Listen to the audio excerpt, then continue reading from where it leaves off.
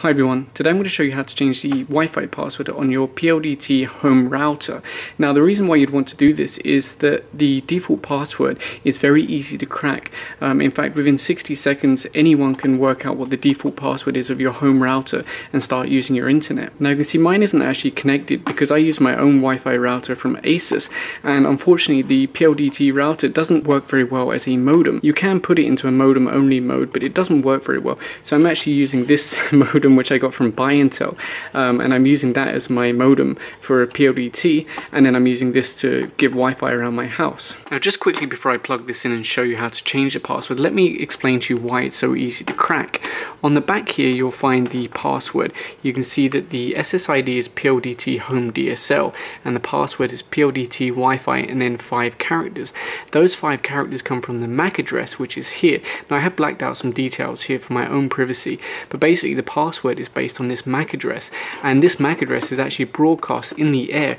Anybody can see this using some very basic software which means all they have to do is open the software near your home take the last five characters, this is being broadcast publicly, so they take the last five characters, add PLDT Wi-Fi, and then they know your password, and they can connect to your home network. So yeah, let's hook this up and change that password. So of course, the first thing you have to do is connect to the wireless of your router. Once connected, open your browser and go to 192.168.1.1.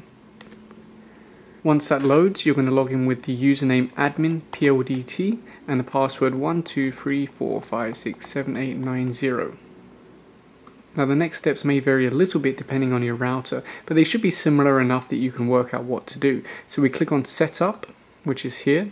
Then we click on WLAN, which is here. Then Security. And then this is where we put in our new password. So I'll set that to something like Milky Way 01 and then apply changes.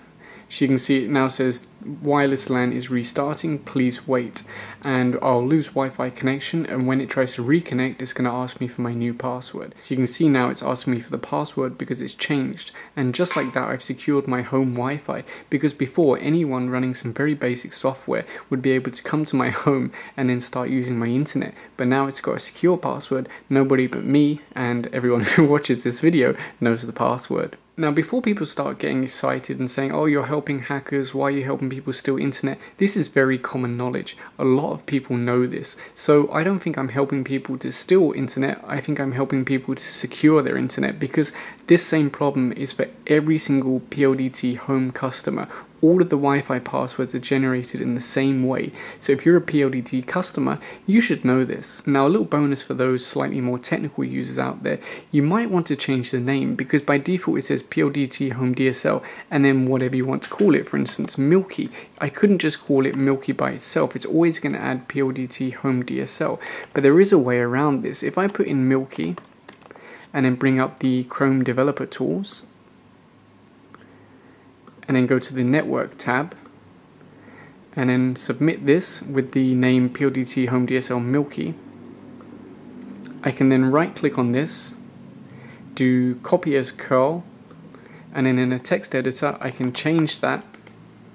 So instead of being PLDT Home DSL, I'm going to call it Milky Way let's just call it Milky Way. Now I'll resubmit this request but with my modified SSID and it should come back with our new wireless name. So you can now see I'm connected to Milky Way. This other PLDT home DSL was just someone else who's nearby.